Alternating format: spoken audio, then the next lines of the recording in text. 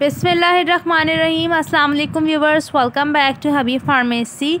उम्मीद है आप सब खैरियत से होंगे। हर बार की तरह आज का रिव्यू भी हमारा बहुत ही ज़्यादा इन्फॉर्मेटिव और बेस्ट है तो वीडियो को आपने स्किप बिल्कुल भी नहीं करना एंड तक देखना है, क्योंकि आज का जो हमारा टॉपिक है, वो है नॉक्सिलर टैबलेट्स का। नॉक्सिलर टैबलेट है लॉन ऑक्सीकेम इसकी कंपोजिशन है। एट एमजी की एक टैबलेट है। एक पैक में टेन टैबलेट्स होती हैं।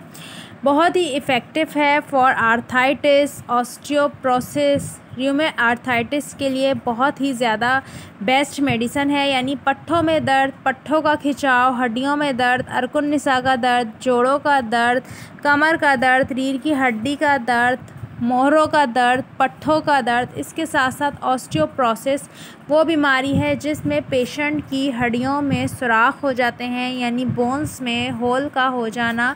जिसकी वजह से पेशेंट की हड्डियाँ भुर भुरी हो जाती हैं तो उसकी वजह से शदीद किस्म की तकलीफ़ का शिकार रहते हैं। तो इसमें डॉक्टर कमेंट करते हैं क्योंकि लॉन ऑक्सीकेम आपके बॉडी में होने वाली किसी भी किस्म की इन्फ्लेमेशन को दूर करके पेशेंट को रिलैक्स करते हैं।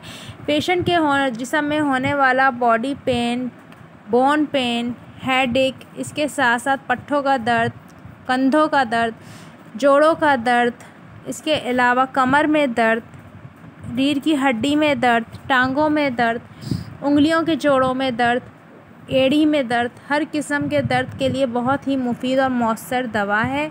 इसका इस्तेमाल आपने एक करना होता है, लेकिन अगर आपको बहुत ज़्यादा कोई जोड़ों का मसला है तो फिर आप अपने डॉक्टर से रुजू करें। डॉक्टर के रिकमेंडेशन के मुताबिक ही आपने डोज़ लेनी है। ओवर डोजिंग नहीं करनी। ओवर डोजिंग की वजह से कुछ कॉमन साइड इफ़ेक्ट आपको हो सकते हैं, जैसे कि आपको स्टमक अपसेट हो सकता है नोज़िया हो सकता है वॉमिट हो सकती है। इसके अलावा आपको क्रैम्पिंग हो सकती है फ़िज़िकल वीकनेस हो सकती है लॉस ऑफ़ एपेटाइट हो सकती है। ये इसके कॉमन साइड इफ़ेक्ट हैं जो इस दवा के इस्तेमाल से हो सकते हैं। वीडियो अच्छी लगे तो लाइक शेयर ज़रूर करें, अपना ख्याल रखें। फिर से मुलाकात होगी एक नई वीडियो के साथ। तब तक के लिए अल्लाह हाफिज़ टेक केयर